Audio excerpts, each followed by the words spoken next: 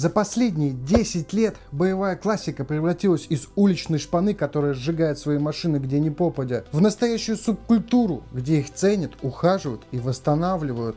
В этом видео мы вспомним, с чего все начиналось, и вернемся в то время, когда, по мнению многих, БК была настоящей. Вы на канале Савоськин, меня зовут Гриша, погнали!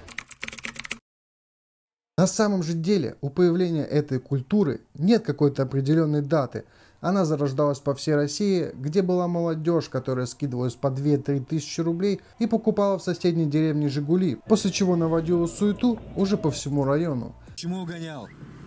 Не хотел штраф получить. Не получилось, не фартануло. Так как эти машины на заднем приводе, то в зимнее время на них можно было пораздавать боком, влететь в какой-нибудь столб, бросить ее где-нибудь или сжечь, а на следующий день опять скинуться с пацанами и купить новую.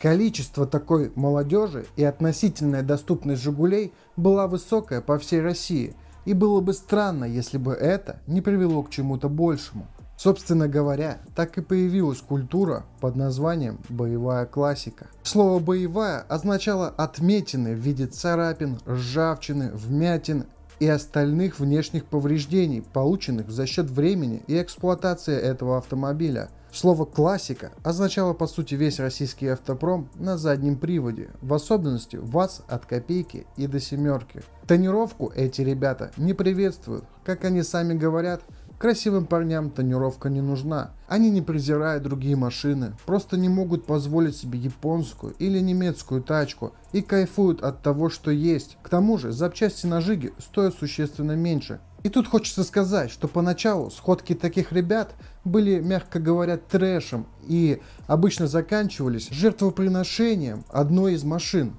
Их разбивали, ломали, переворачивали, прыгали на них и, конечно, сжигали.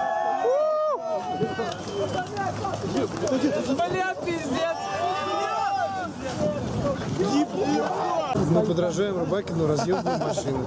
Мы смотрим тебя с детства, так что не пиздите. В общем, их не жалели от слова совсем. Но потом, постепенно, это начало отходить на второй план, так как появлялись люди, которые в своих гаражах начали самоделками тюнинговать машины. Они увеличивали выворот, меняли двигатель на шестнаре, заваривали редуктор, ставили гидропалки, и все это делали своими руками. И в конечном итоге это позволяло дубасить боком намного увереннее, красивее и не только в зимнее время.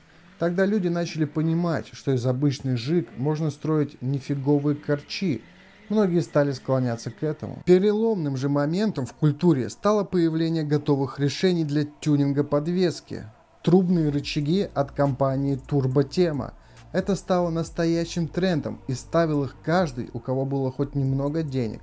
После этого культура начала меняться. Все больше людей строило реста стили, ухаживало, доводило внешку до идеала, строило по-настоящему хорошие гоночные проекты и презирало старый движняк. Да и со временем жиги становились дороже, и покупательская способность у школьников постепенно падала. Наверное, самым знаменательным днем для БК стала сходка на 200 тысяч «Жигулей». Это было 15 апреля 2016 года на Ходынском бульваре. Навели столько суеты и шороху, после которого был настоящий информационный бум. Об этом даже говорили по новостям. В соцсетях сегодня эхо от большого шума, который был минувшей ночью в районе Ходынского бульвара в Москве. Любители уличных гонок устроили там соревнования.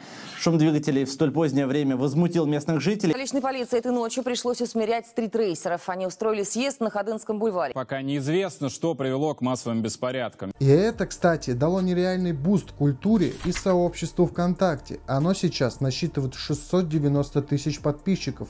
Ссылочку оставлю в описании. После этого события в культуру начали приходить новые люди и все больше менять направление.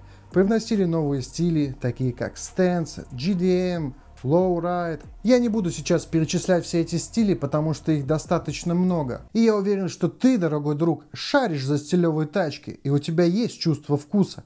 Поэтому напиши в комментариях, какой стиль выбираешь ты, и возможно в дальнейших видосах я его разберу. Да, и не забудь подписаться на канал, потому что это поможет мне не только рассказывать о тачках, но и показывать их вам. Продолжаем. С каждым последующим годом старых движений становилось меньше, но даже сейчас, в 2023 году, они где-то все еще есть. Да все на самом деле нормально с ней. Она не закончилась. Она также будет продолжать расти.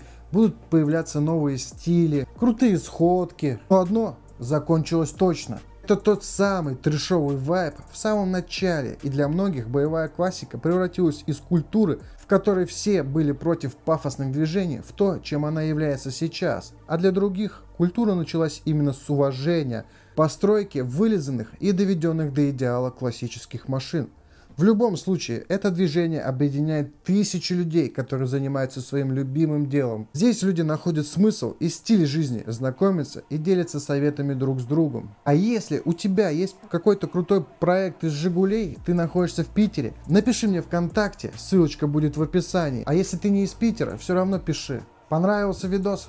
Ставь лайк. Если я что-то забыл рассказать или ты с чем-то не согласен, добро пожаловать в комментарии. На этом у меня все. Всем хорошего дня, цените свои тачки, занимайтесь любимым делом. С вами был Савоськин. Всем пока!